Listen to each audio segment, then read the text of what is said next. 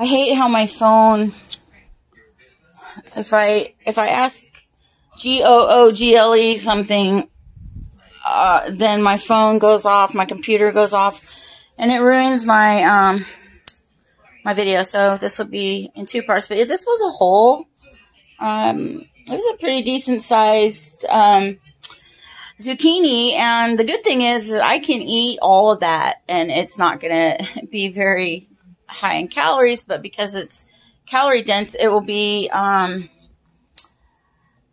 I will get more and it's watery. So that's going to fill me up more. Um, yes. Uh, so anyway, I guess you guys already know that. So I'm looking up a way to know to do the zoodles because they are a little watery and I want to mix it with the pesto, but I'm not really sure how. So I'm just on allrecipes.com and I'll probably just follow whatever it is that they're doing.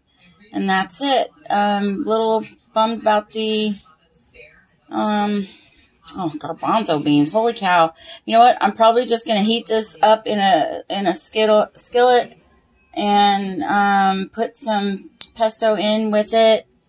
And hopefully it will zap out some of the salt because pesto is really salty. I must be at a chemo brain moment and like put in like a quarter teaspoon or tablespoon instead of a quarter teaspoon. So that's what that's what it looks like.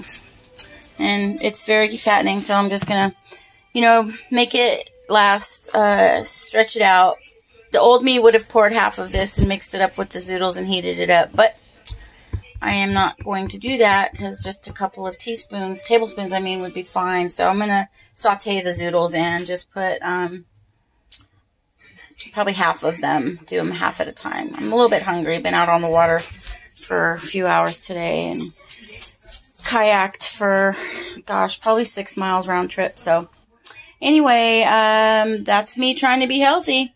And I'm so grateful again that I didn't get rid of my veggie bullet because I, I almost did because I thought it's just me. Tommy won't eat stuff that I make. And then, you know, now that I'm trying this Noom thing and learning how to eat right, I'm super grateful for it. So anyway, I hope you guys had a great Friday and I'll talk to you later. God bless.